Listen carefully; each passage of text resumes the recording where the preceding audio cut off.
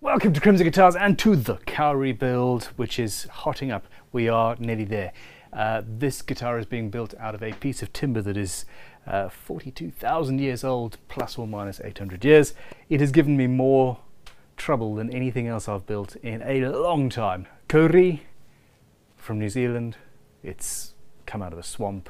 It you know, fell over a long time ago. The problem is, in spite of that age, it's actually very soft timber to work with. We have used uh, resin impregnation. I have flooded with super glue and all sorts of stuff, and uh, and yet it is still quite soft and, and pliable and uh, yeah.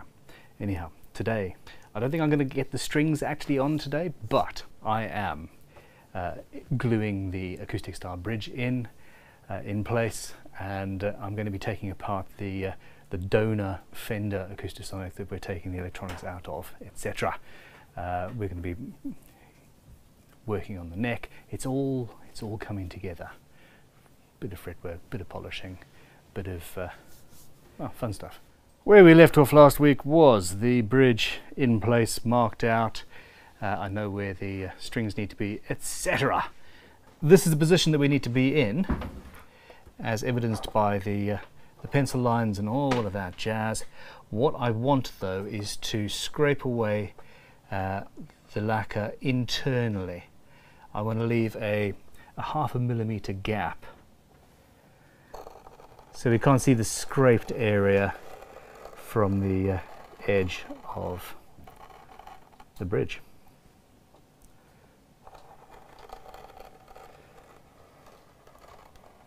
How would you do it?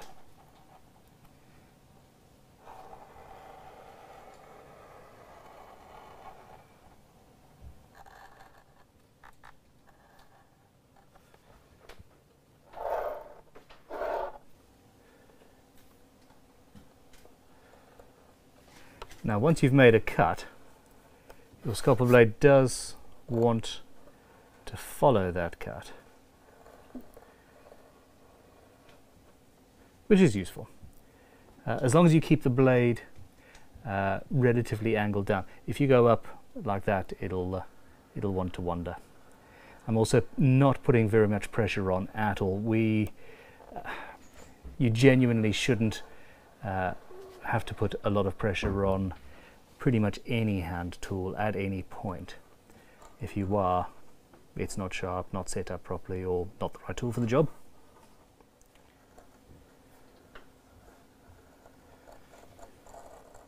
Bit nerve-wracking. But I have balls of steel, so... Right. Also, yeah, modest.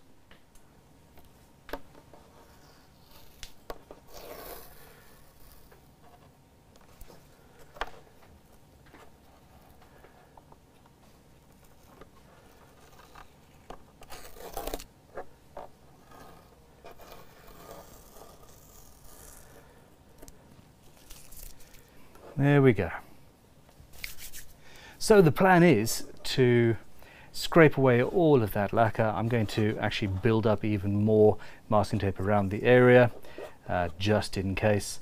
And uh, when it comes time to glue this down, uh, I will very slightly bevel just around the outside edge so that that is essentially inlaid into the uh, the varnish on the top of this guitar. It's not shellac beetle based, therefore cannot be called lacquer. Cannot be called lacquer, but I have no self-control and cannot stop saying it.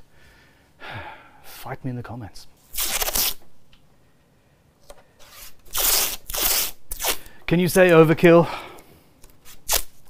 I said, can you say overkill? And Sophia walks in the room. That's obviously your superhero now. There you are, judging our work we have uh, we have people who uh, who refuse to watch any of the videos unless you're in them. Really? One fan's daughter will only watch videos that you're in. That's a number 11 blade, and I want a 10A.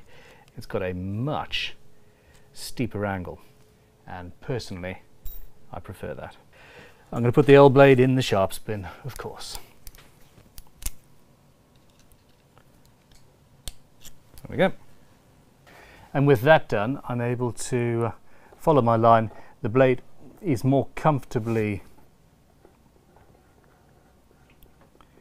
closer down at the lacquer, therefore is uh, more accurately following the line that I've already scored in this varnish, in this finish, in this 2K uh, poly. This expertly applied high gloss, really hard, beautiful, professional guitar finish.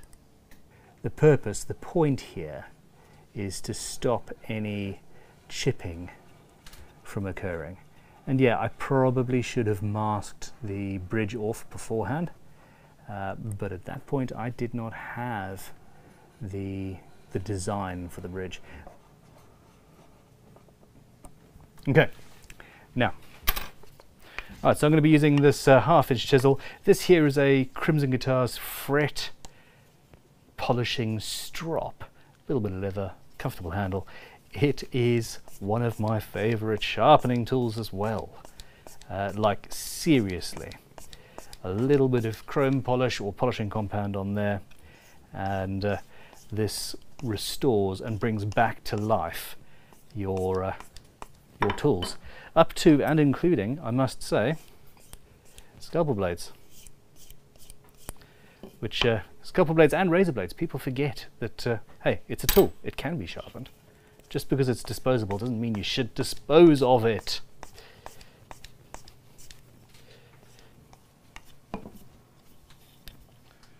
There you go. Not perfect, but uh, yeah, good enough to be a scraper. I am not going to be carving out material. I am going in at a slight angle and I'm going to scrape away into the corner.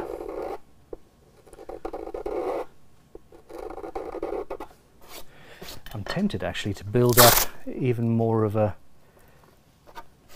a masking tape wall there and that gives me something physical to uh, to actually run the chisel up against.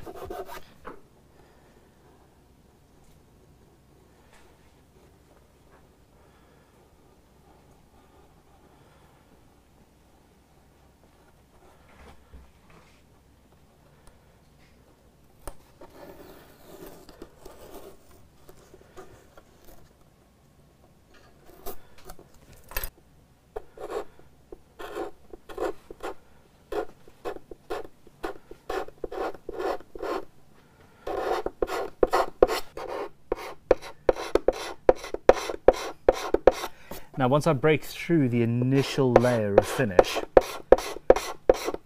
everything's going to get easy.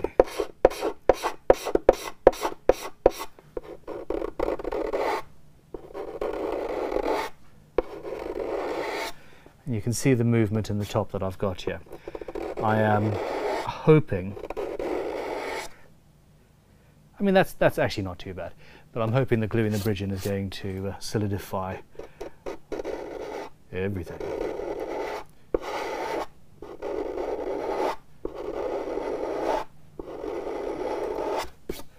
I'm also not going to make you watch this whole process. He says, continuing to film.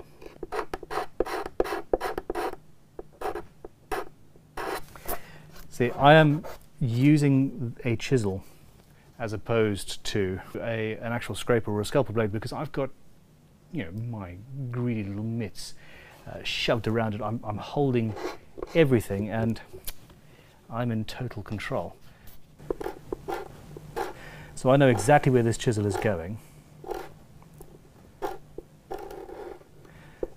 And that makes me happy.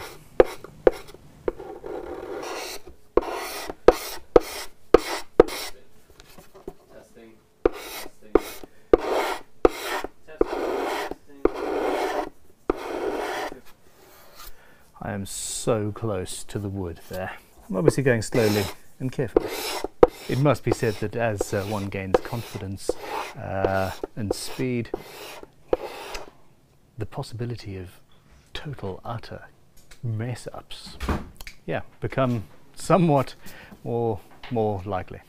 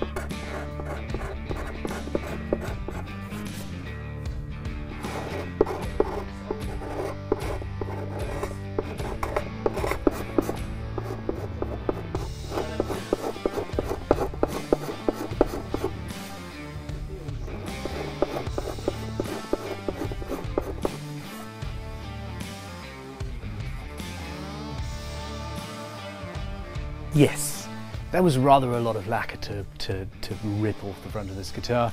Uh, as I said earlier in this video, this wood is soft and one of the things that we did in order to solidify everything was actually go fairly heavy with the uh, 2K poly on one of our normal guitars built out of traditional guitar building timber. Uh, that would not be the case, it would be a, super thin nitro or something like that. But uh, yeah, here we go. Uh, I have uh, well and truly reached the end of the day, so I'm going to pull this masking tape off tomorrow and yeah, glue the bridge in. Back in the workshop and rearing to go, I'm going to tidy up the uh, beveled edge inside the area that we scraped away, do a little bit of sanding and bevel the edges of the bridge so that we can glue it down with as much of the uh, surface uh, yeah, in contact for a good strong joint so as to not damage the finish or pull grain out of raw, raw wood for that matter if you've had to mask stuff off you pull the masking tape off at a 45 degree angle and flat to itself and that's putting as little vertical pressure on whatever substrate you've taped to as humanly possible. This is more useful for vintage guitars and uh, delicate finishes etc but as a best practice I think you should uh, I think you should do that.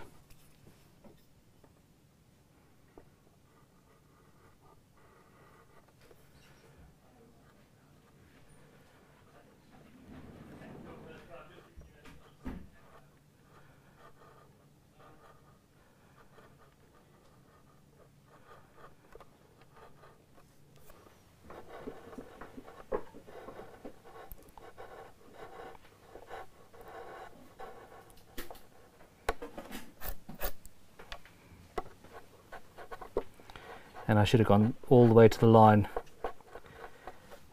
while the original masking tape was on. You live and learn. This is the first time I've ever had to do this actually.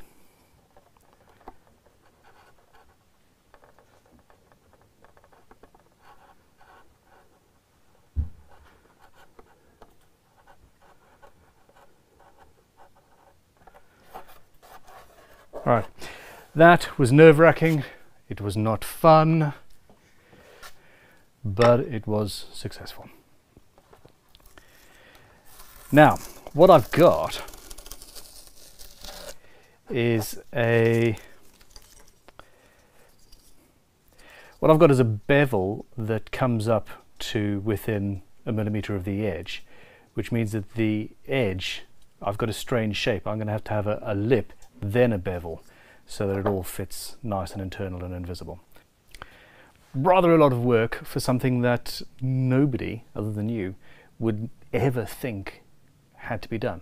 We knew that we were applying a lot of lacquer and uh, it was going to be thick and then pulling uh, the masked off area uh, away from that creates chips and uh, it was something that I wanted to avoid. I'm not sure which I wanted to avoid more. Probably the latter. So we made the right decision here. Uh, anyhow, I now need to create a uh, an interestingly complex shape on the bottom of this bridge here. And in order to do that, well, I need to make a custom tool. So yay. What I need to do is uh, file into the edge of a, a scraper, let's say this one, uh, the shape. So I've got my bevel and then I've got the flat that I want to create at the correct depth. And then this is going to go into a handle and uh, yeah, be useful. I, ca I can't remember the name of the tool. It's a, it's a scratch stock. There we go.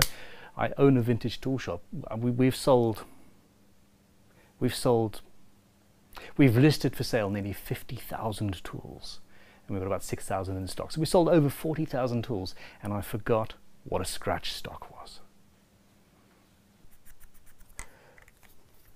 Permanent marker. The depth I'm going to mark that out.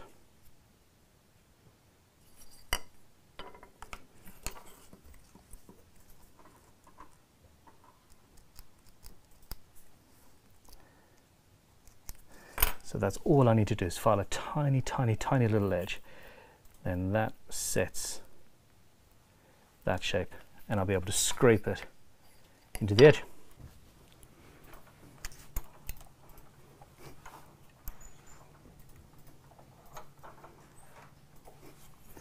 Okay, I'm going to use a one of the old fret end bars.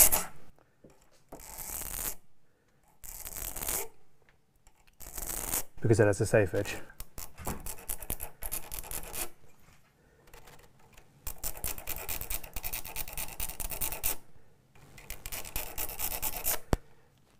And there's a bevel. Tiny, tiny, tiny little thing.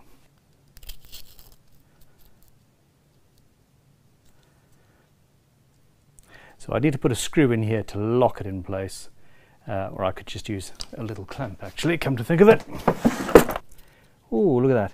This, interestingly enough, is a clamp from a uh, cannulas, drips, medical drips. I'm entirely sure where we got them or how, but hey.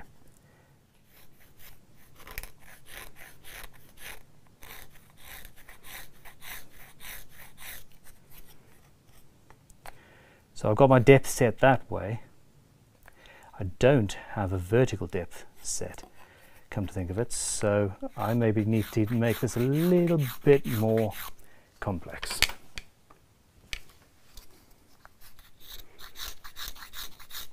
And most scratch stocks that we see at uh, the vintage tool shop are made like this of necessity. It's just a thing that somebody needs to, to do relatively rapidly but, but evenly and you end up with a jury-rigged tool. Jerry-rigged tool? I don't know. What's the phrase? Hold on. So my depth actually is when I hit that. I should be right. Is that correct? Okay, I'm going to run a test on a uh, on a smaller smaller piece of wood quickly. Um, this is what I love. I genuinely enjoy just messing around and uh, I've never made a scratch stock before. They're not, it's not difficult. It's not a uh, uh, technologically advanced tool, but the job that it does, it's very difficult to do with other tools. So we've got our shape on there. Obviously could do with a little bit of tidying up with a file or something, but it fits over the edge. The bevel is nice and tight. Do with a little bit of tidying up the file, but it goes over the edge a little bit too far. Actually, I need to adjust the depth stop, but it it works.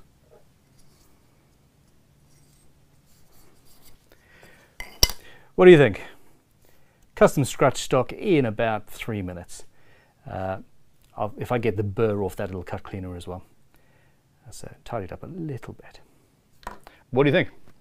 Let me know in the comments.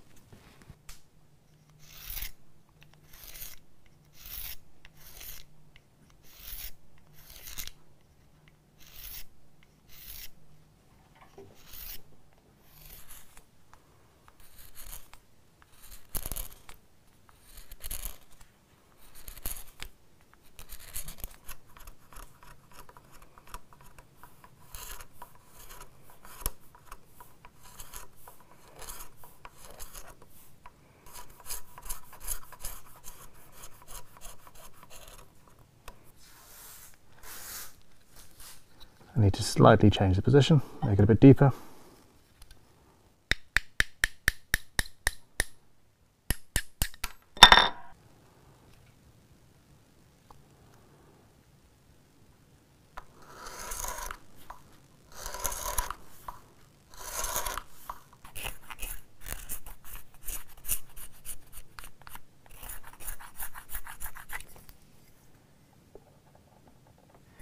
the ends need to be a little bit shorter, but we are very close.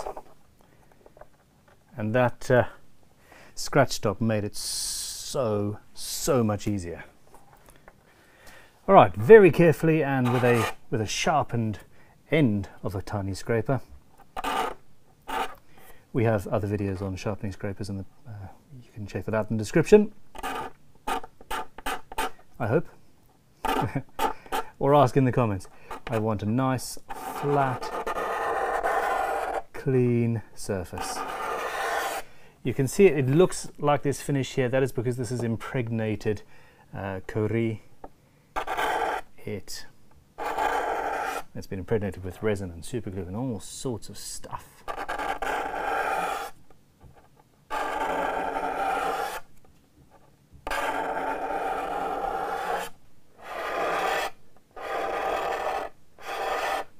I was I was not expecting this to be quite so much of a palaver. I am here way after home time. Uh, this is essentially a day and a half of work. Uh, and a lot of that is due to me just messing around and, and trying different techniques and methods because this isn't something that I've done before. Uh, the scratch stock, very cool tool. This could be used uh, for binding channels, for example. It can be used for although don't use it on spruce, the hard and soft lines. Well, be careful if you do if you do that. Uh, anyhow, this was not going to be a standalone video, but here we are. It is. Please share this video, copy the link, and email it to somebody, or just copy the link. I'm very, very, very excited to be getting to the end of this guitar, and also to be trying new things. I am feeling confident. Check this thing out. Here we go we are essentially inlaid. It's a 3D kind of a thing. There's obviously a little bit of dust floating around. There's a tiny, tiny, tiny, tiny gap at the front there, but I've got total, total adhesion all the way along the base of the bridge. this is so satisfying.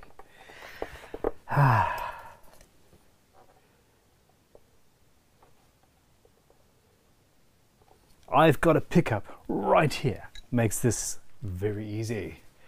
Um, so putting a clamp in there. I don't quite have room because of the thickness of the body to get into the corner, but that won't be an issue because what I'm going to do is take this piece of wood, cut it into a couple of shorter pieces, make a, a section to match the radius of the uh, uh, of the top of the bridge in two positions, one there and one there, and uh, that will then give me a flat surface to which uh, onto which I can clamp. In fact, I'll make a, a little prayer gate kind of a thing, I suppose. And uh, if I leave a little bit of a gap here, i.e. it'll touch the, yeah, it'll be touching at either end and I'll have a millimeter gap in the center.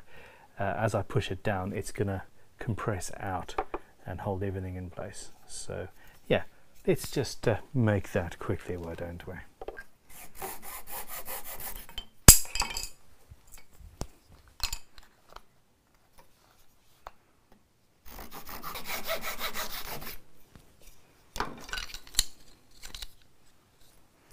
Now obviously there's a uh, there are designs for adjustable ones of these but uh, you know I don't need to be bothered with that right now because well we're in custom mode aren't we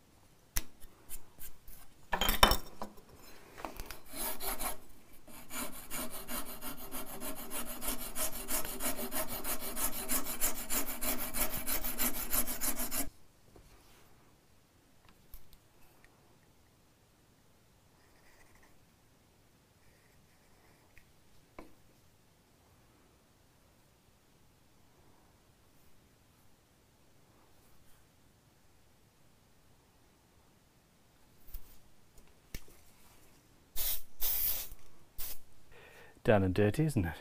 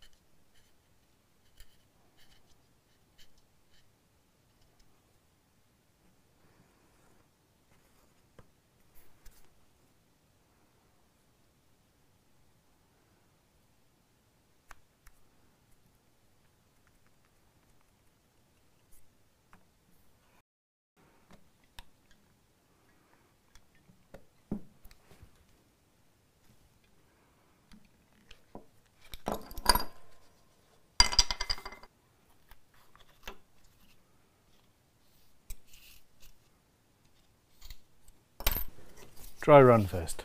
It's late. Just because it's late doesn't mean you get to ignore the basics.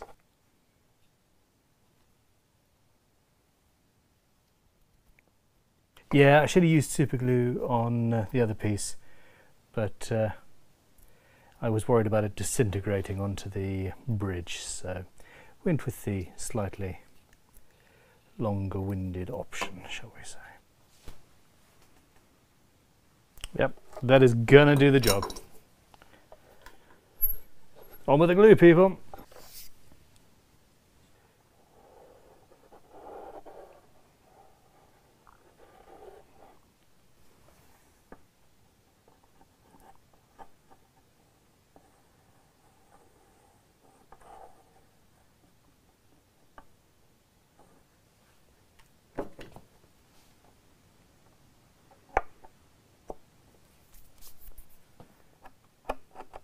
There's a tiny little bit of squeeze out there, which I'll get in a minute, because there will be a little bit more there and there as well. Front towards energy. That's where the strings are after all.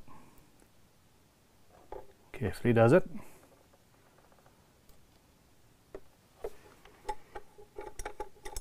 I am worried about the soft stuff I put on the bottom of the clamps compressing a little bit too far over time so I'm going to stick around and just pay attention to it for a while. It might flatten to a point where I lose uh, the requisite amount of tension. Okay, not very much squeeze out which is great because I don't want huge amounts of glue everywhere. Let's, uh, well, let's clean that up shall we? The temptation is to uh, get a bottle of water and just liberally flood everything and, and use that to basically spread the glue around until it's not there anymore. Uh, I always start with a bit of folded up card or stick or in this case just a little clear piece of acrylic that gets nicely in the corner and uh, physically pulls most of the glue away. Then with a damp rag or tissue I clean things up. Obviously I'm being careful not to uh, scratch the finish. My clamping cord just gets in the way in that corner. Alright, a little bit of tissue, a little bit of water.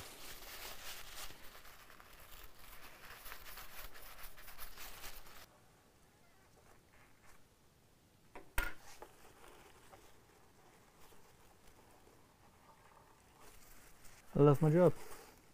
I really do. If you have got a, a high gloss finish or want a high gloss finish on an instrument that has a bridge like this, you do need to glue the bridge on after the finish.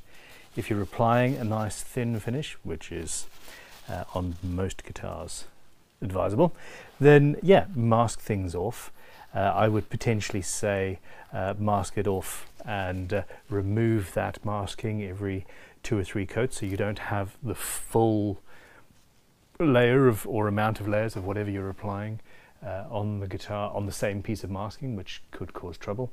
But um, even if you do, masking it off is, is pretty much the way forward. This method, yeah, it took a little bit longer than I uh, really thought it would. But also, I'm behind a workbench. I am in my happy place. So thank you for watching. Thank you for justifying my existence.